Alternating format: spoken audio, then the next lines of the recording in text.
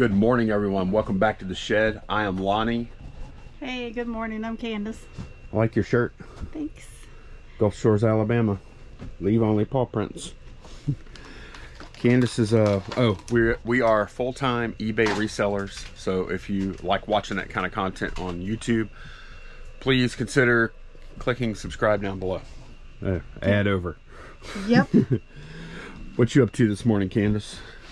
um, I have a lot of Star Wars figures that they're worth like five dollars and under, pretty much. You know.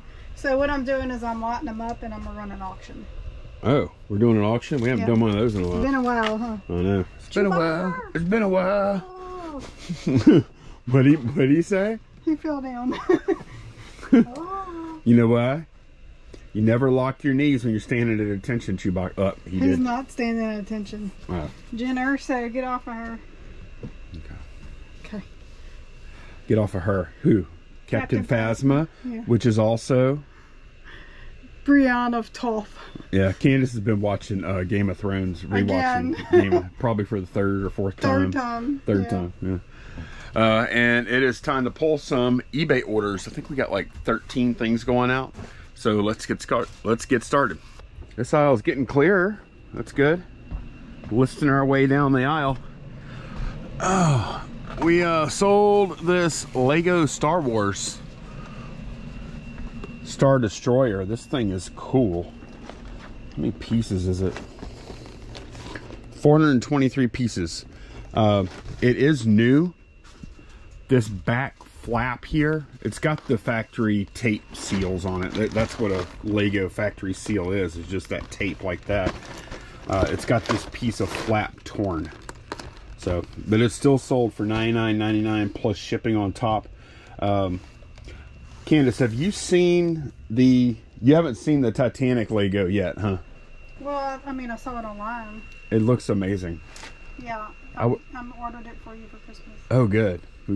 That would be fun to build that, I think. the Titanic. It's so big. Hang on, I'm going to show y'all real quick. This is the Titanic. This is on the official Lego site. And I'm trying to figure this out. I'm a little confused. It like I said, it's an amazing set. It's got like I can't remember how many pieces it has. It's crazy. 9,090 pieces. And this is a this is not a small set. It's it's a the dimensions on there? medium size set here 423 pieces that ship has like 25 almost well 22 or something uh, times the number of pieces Look, 54 inches. 54 inches uh, long It says diameter, but that's got depth. Be, that's got to be the length, huh? i think it's it's depth the d is depth so. 54 7 what is 7 inches I, don't know. Oh, is there anything on there 7 inches I bet it's 54 long. height 18 inches oh they're saying it's 7 inches wide Yeah, I think they got that wrong. 54 inches would be how long was that four four and a half over- feet Yeah. I mean, that is, that is, that would be a, just amazing, wouldn't it? You'd have to set up a, a, if I built that, I would get like a plexiglass type clear cover to put over it on top of a shelf. So it wouldn't get dust all in everything. Build it wherever you're going to display it. Yeah, man, that is so cool. But here, here's the thing I thought was interesting. Uh, pre-order the new Lego Titanic starting November 1st.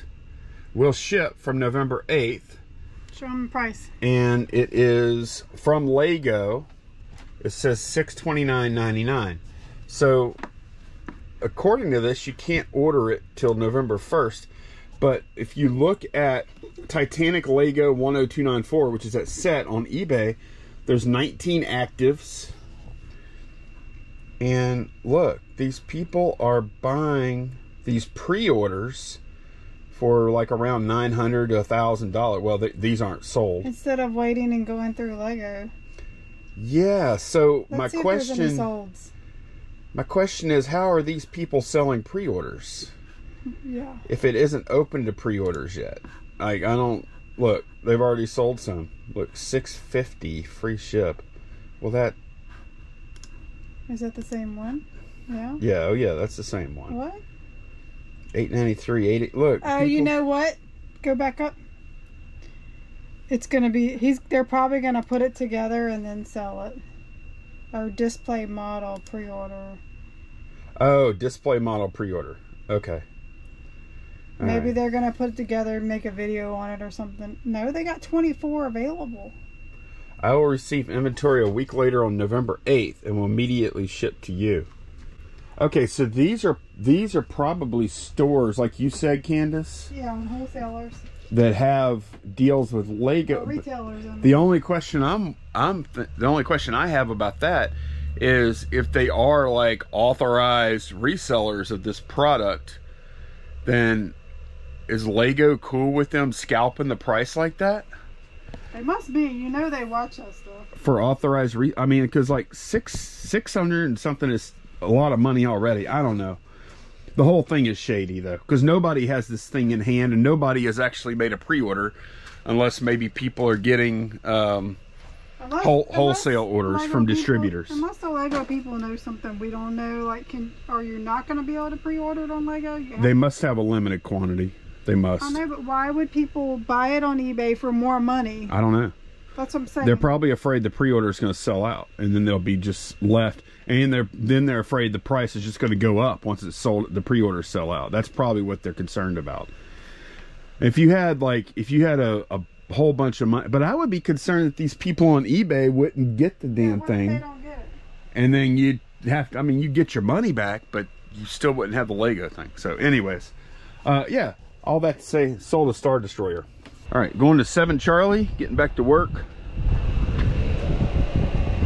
Seven Charlie, we sold a another little ridiculous, ridiculously small Barbie accessory. This is a box of Kleenex tissue, branded Kleenex tissue, $14.99 plus shipping on top for that little guy. Sold two of these lighted sight pins for a bow for six something a piece plus ship. And I put up, let's see, one, two, three, four, five, six. I put up six lots of audiobooks yesterday. And uh, my pricing strat is 350 a book plus shipping. And I take these 1266 boxes and I stuff them with as many audiobooks as I can. In this case, it was nine books that sold for $31.49 plus media rate shipping on top. Went ahead and grabbed this off of 4F. This is a T-Pain portable two-in-one speakers. I guess it, um, I guess it like intensify the beats Clip the speakers to your belt to take your sound on the go, intensify the beats, and control your volume with the turn of a dial. Okay, so I was thinking, oh, no, I was thinking it was a, like a voice changer thing, but I don't think it is. I think it's just speakers. Anyway, that sold for $9.99 plus shipping. Then from Pocket 4, we sold a Garindan long snoot. Did you hand me that, Uh, Candice? what? Oh. Can't get these people to stand up. What? I need number four. you okay? Man, that's a big lot you're putting together. I think I might have some more on the mustard shelf. Hmm. You- really big lot.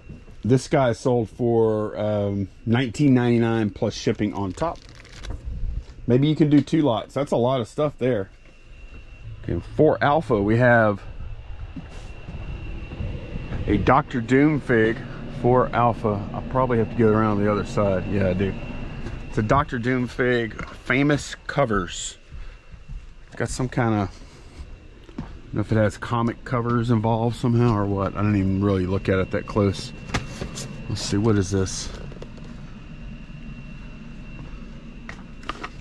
Okay, the figure is from the famous cover, I guess. That sold for $19.99 plus shipping on top. We're looking for 7C Bravo 12. Some more Barbie. This, sorry for the wind noise, y'all. Um, okay, it's not here. It must be in here. Yeah, here we go. B12 right here. This outfit here sold for $59.99 plus shipping on top. It is a looks like it's complete, very good condition. But uh yeah, the Barbie clothes are just friggin' awesome. Nine Charlie sold a Sega Genesis game over one. So I'm gonna let Candice say the name of this one. What do we sell here? FIFA. FIFA. We sold uh, FIFA Soccer 96. That sold for $5.99 plus shipping on top. From Joe Drawer right here, sold an Ewok.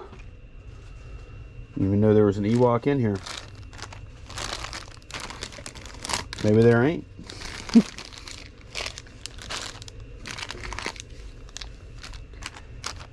Candice, there's supposed to be a Ewok in here. There could be though. Stacked up in here. Ah, here he is. I found him. Teebo. Uh, sold for $24.99 plus shipping on top. Same drawer. Sold a belt buckle. Just listed this yesterday, day before yesterday, one of the two. This right here. Strikeout at Accidents. Intel and TDC. Uh, that's for a chip fab in Arizona construction project. Uh, solid brass. This sold for $19.99 plus shipping on top. Paid $3 for that in a state sale. 10 Delta sold a World of Warcraft wax box here. Um, Magtheridon's Lair Raid Deck. Starter sets or something. No, special edition game extension. Is that the last one? No, I, th I think I have. We started out with 12 of these, and they've all sold for either two and a quarter or some somewhere a little over 200. Uh, that came in a big card buy I did for my guy, and we've got one box left. So it's always exciting. That's sold overnight. It's always exciting when those sell because it's just such like these are these are awesome. Sell overnight. It sold last night. Huh? Sold overnight sounds like you listed it yesterday and then it sold. Oh, true. No, I listed it like uh, probably a year ago. no, I was. I think it was though. I was working in here Were you? So maybe it was around eight, December. nine months ago or something. But, but anyway, two twenty-five plus shipping on top for that. And one more small thing. We got one big thing that I already pulled, but uh, sold. This is perfect because these things sell for $7.99 a piece. So somebody bought four of them, which that that is just that is just really good whenever you have low price stuff when you can sell multiples. Always kind of the plan anyway. So we sold this guy. Let me pull the rest. Okay, these are the four I pulled. Uh, four of these sold for $7.99 a whack plus shipping on top. And what I do whenever somebody buys like, see, because they paid shipping on each one of these. Uh, so what I'll do is I go in and I refund excess shipping. Um, I know a lot of people don't think you should, but uh, I do. I do. I think it's the right thing to do. Okay, Tiger Drawer. Just over here by Candice. wow, you got tall. You don't have to move. Well, you can't get in there with me standing on the ladder. Well, I could have waited though. I wasn't trying to get you. Apparently you. Uh, you hear how sassy she is, y'all? All right, this Mr. Fantastic. Wish I wasn't called that. Mr. Fantastic. Sold for $9.99 plus shipping on top. Does it have to be said like that? How else would you say it?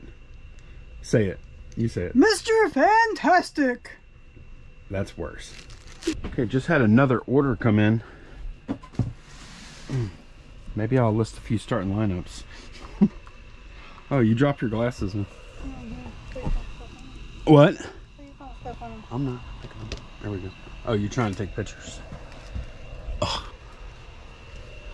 No, we've got a major traffic jam in here.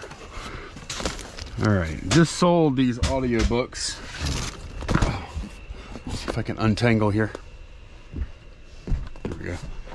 Just sold these audiobooks for thirty-eight forty-nine plus shipping on top. Another lot. So two lots have sold now. And we're officially in the profit on audiobooks because we were into that, um, into all of them for $36. Okay, I was a little too fast with these audiobooks. I already packed it and printed out the label. And then that same buyer bought another lot, which is great. Like, it's fantastic. Four alpha, lot B. This sold for 41 and change. There's 12 in here. So now I have to, um, now I have to void this label, pack these together. So i might just tape them together and then um, reprint another label and then I'll refund them a little shipping back. It is time for Q&A with Candice. What was the do to do thing? I don't know. sounded like you were looking for an entrance. yeah, make an entrance. Go ahead. Man, that's appropriate. Your What? cold beer sign is all like, whoa. Yeah, that's that's when I was packing that big box a minute ago. I, I straighten this thing like at least once a week. Huh? Oh, I knock it over all the time. I'm not usually I knock it totally off and it's missing for months at a time, and then I go behind here and dig it out. But yeah, we y'all asked a bunch of questions, um, and I picked out six for this video. There there will be more later, but this is enough for this one. Let's go. Let's do it. All right, Mr. Cute Stuff. Ooh, don't call me that. This is a question from Mr. Cute Stuff. Oh, okay. hey, y'all. Quick question. Hi. Hey, hey, Mr. Cute Stuff. I know that USPS Priority is insured up to $100, and we all put additional insurance for anything above $100. But do you or would you insure anything in USPS First Class, say above $40? Thank you. What do you What do you think? I want to hear what you think. I, I like I like hearing your perspective on questions, just because we don't talk about a lot of this stuff. I'm going to say $70 or more insured. That that's your pain point. Yeah. Okay. Yeah, everybody has a pain point. Like the the way I look at insurance, I'm I do buy it sometimes. I bought some insurance today on a big order I had going out because it was going media mail, and media mail is a little sketch. So I went ahead and just put the insurance on it just for the heck of it because it was a pretty a little pricier order. Um, in general, though, you should not buy insurance. Right? Unless it's going overseas. Yes, that is a case where if it's something a little pricey and it's going international first class package, which does not have insurance, I would recommend maybe thinking about insuring that. Uh, first class package, $40. I'm going to roll the dice and see what happens. Self insured. Self-insured. You could also call it self-insured because the way I always look at it, if you ship say a hundred forty dollar packages and you lose one out of a hundred, which I think would probably be more than average to lose one percent of them or to have it get damaged or something. It also depends on like what kind of stuff it is. If it's like all breakable stuff, well maybe you do. Uh, but like let's say you lose one of these $40 items out of the 100 you sell, then now you're down 40. But then if you would have insured all 100 of those, and it would have cost say let's 250 i don't even know what it costs. Let's say it costs two dollars to insure each one. Then you would have spent $200 and gotten back 40 so you would have paid $160 for peace of mind. That's some expensive peace of mind. And so that that example is why in general insurance is a bad deal but in some cases it's a good deal. Like expensive stuff you want to insure and what does expensive mean? It depends on you. Like how much stuff do you sell? What's your volume? The more volume you, you do the more you can afford to self-insure and not buy insurance from usps because the bad transactions will just get lost in the noise and you'll just cover it the cost of doing business or whatever. I think so $40 stuff I almost never insure $40 stuff. Um, it now on some expensive action figures like when candice is listing them we've had this conversation where if it's worth more than we've what was it like $70 or $60 or something instead of shipping first class, I'm like, okay, do uh, padded flat rate instead. And then I'll put it in a box and I'll slide it in that pad, padded flat rate. And now you're getting the insurance and you're getting a better class of service that'll probably has a good chance of getting there faster. Uh, so we do do things like that sometimes. I like, would you rather spend $4 plus a couple of bucks insurance to come up to around $6 or would you rather just spend the 849 and get padded flat rate? You know, and I, a lot of times the answer for me is to go ahead and ship at priority. Now, um, going, this is a big question. This is a bigger question than I thought. Let's say something's $150 and you get $100 in insurance included. Do I insure, do, y- do y'all think I'm going to insure that extra 50? Probably not. If it gets up to 200, maybe I insure it, right? It's like, And depending on how fragile the item is. it- there's a lot of factors and like and right now another factor to consider right now when doing insurance um, especially coming into fourth quarter usps can become very unreliable during the fourth quarter especially on i've noticed like first class packages during the rest of the year. It seems like they typically travel at the same speed as priority even though they don't advertise that it really does. Um, and even even media rate will usually go fairly quickly but you find that once they start getting like overwhelmed with packages they start leaving the first class maybe it'll take a, a, a week or 10 days instead of the two to three days you're used to because they're giving priority to the priority mail so the priority is going to take precedence and anything else that don't fit on the truck or the plane it'll have to catch the next one so think about things like that too. This answer is going to be different for everyone because we all have different risks, risk tolerance. We all have different amounts of volume we do. We all have different amounts of money that we consider a lot of money. Um, so, and we all have different experiences, like with our local post office, even. Like if, if that's if there's a, like a major problem at your local post office and you know there is, well, maybe you should either try and get around that local post office or make sure you insure more because it's a higher risk and maybe it makes more sense. So I don't know. Uh, what do y'all think in in the comments? Uh, what's your view on postal insurance? When do you buy it? What's your pain point? Yeah, like that. Candice is just making fun of me for getting excited about insurance question. I'm like, aren't you excited? She's like, no. Okay. Okay. What's next? From Panzer. Panzer, longtime viewer. Great video, Lonnie and Candice. Some good questions. I have a question. Have you many pairs of jeans from the big jean haul? And did you get many returns due to the wrong size? Loving the content. I'm assuming that's the Yeah. the Belk buyout. or else it's called stage here. Yeah. Well, no, it's not Belk, is it? It wasn't Belk, it was Stage. It was stage. It was stage, and it's called a bunch of other things around the country. Uh, we bought over two. I want to say it was like 225 pairs, and I'm not really certain because we've been putting. Man, I used to have jeans all over the place, like literally, like I would have shelves full of jeans. We had 225 pair all tucked away, and now um, after almost a year, probably we're down to there, I mean, I, I think I might have three pairs of jeans left out of that stuff. So it's all sold, basically, more or less. It's all sold. And Candice is trying to find jeans on here. Okay, so just did a search for jeans, and we have one, two, three pairs of Levi's left.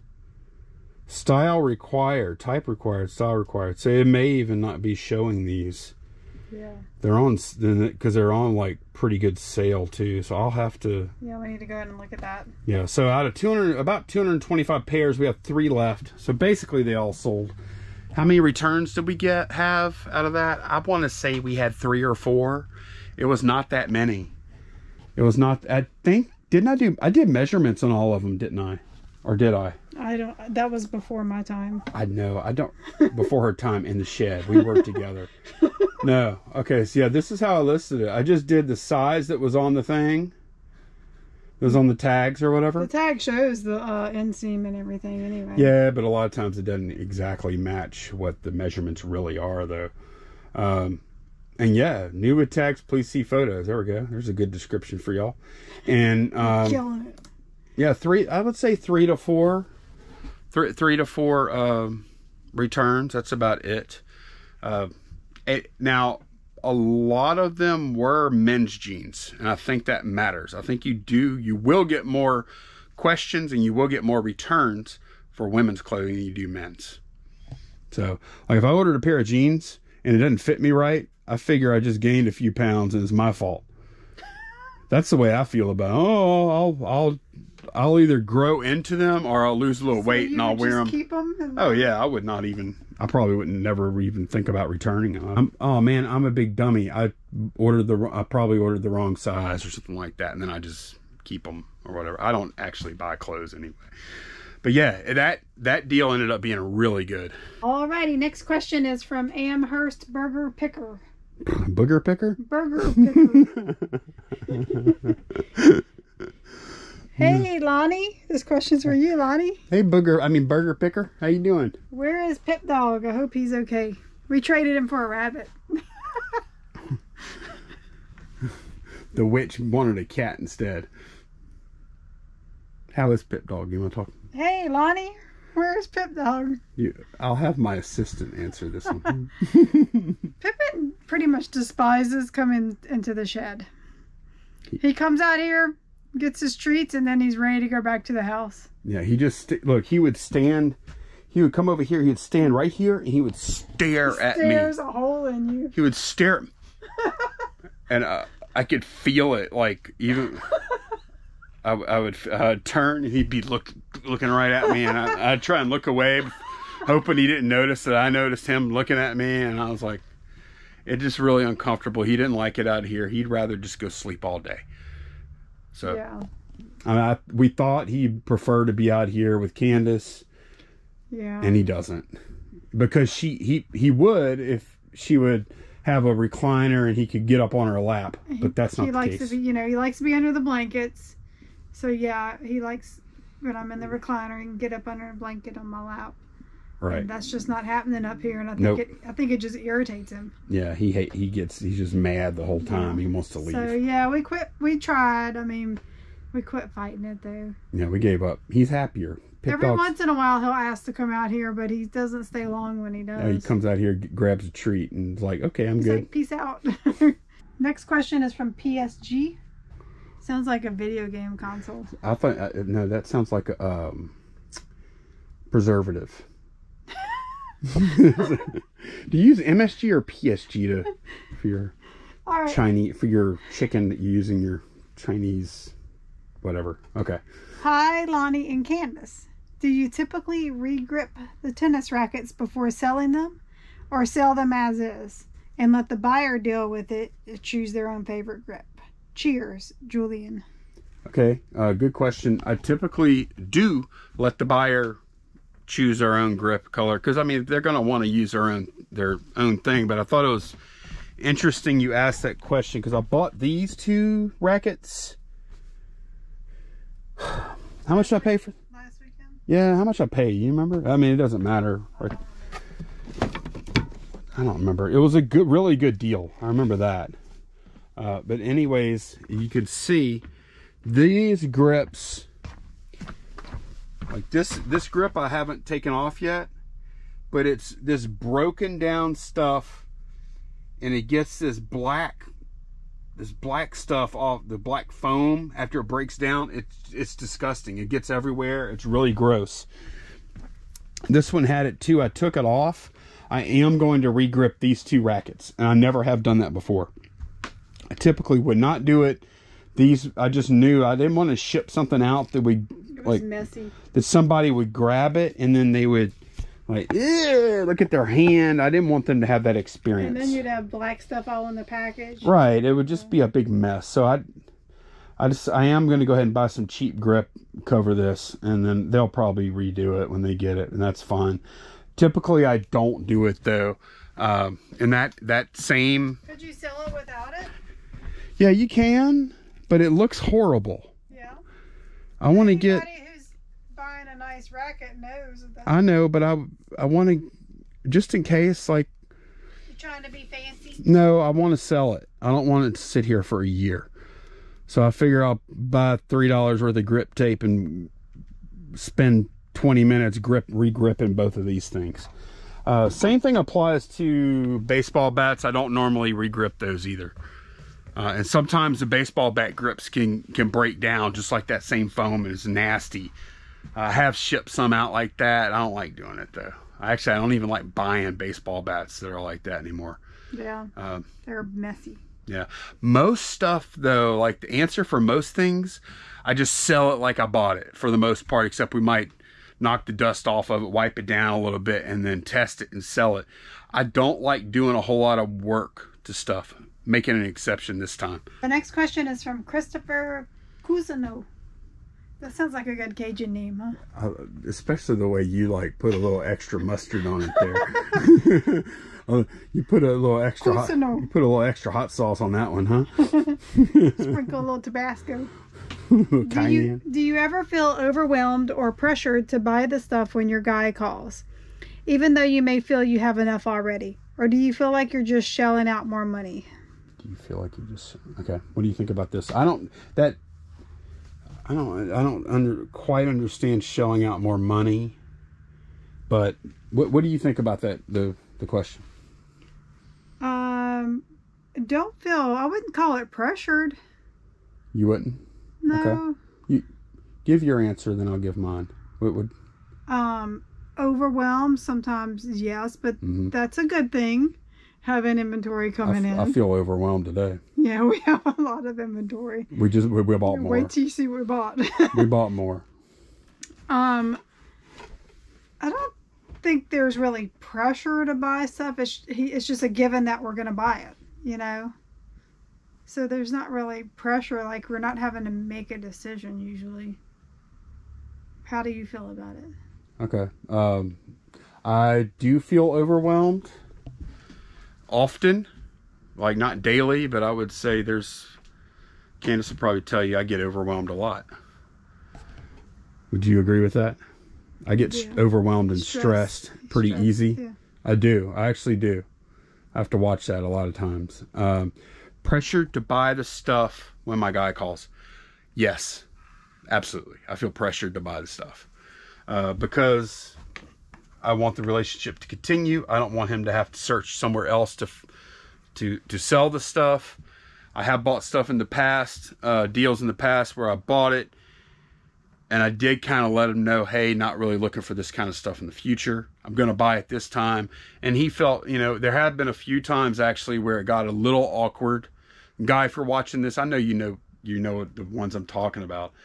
Um, where I didn't really want to buy it, but I bought it. I've done that several, a couple of times, but we've done so many deals. Like, I would say 90% of these deals just work out like just fantastic. And usually they work out better than I even thought they would whenever I bought the stuff. Yep. And sometimes even some of the ones that I felt pressured to buy, they actually have worked out really well too. Mm-hmm. As a few, like I can only think of, of a couple times I wasn't like ecstatic with the buy. But I yes, I do feel pressured to buy everything he offers me to sell. I do. That's just a fact. And you would too if you were dealing if you had the same relationship, you would I think you would feel the same way. Um, and if you didn't feel if you've been watching this channel for a while, watching us for a while, um, I think anybody would feel that pressure because you don't like you you have we have to keep this well we want to keep that relationship going um and we want I want guy to feel confident to make deals without having to consult me first to see if I'm going to buy it or not. I trust him. I trust him to make deals that I'm going to like. But then if I don't like it, I'll I'll let him know, but then I'll still buy it. I hope, you know. So yeah. there is some give and take. I want guy to trust me that I'm going to be there for him if he makes a buy intending to sell it to me, then I'm going to buy it. And there may be a conversation. I may have to scold guy. No, I'm just kidding. Not scold. I'm just kidding. May have to put guy in timeout for a little while. But no, um, Yes. Very, very, very pressured, very overwhelmed. That's everything for you. What? Pressure and overwhelmed? Overwhelmed. Yeah, I'm pretty much. He's It's. high strung. Am I? Yeah. Uh, maybe a little. Sometime about some stuff. I, I am a little bit sometimes. Kind of like Pippin. Yeah, it depends on what You like is. your little routine. I'm high strung about things that matter. I think so.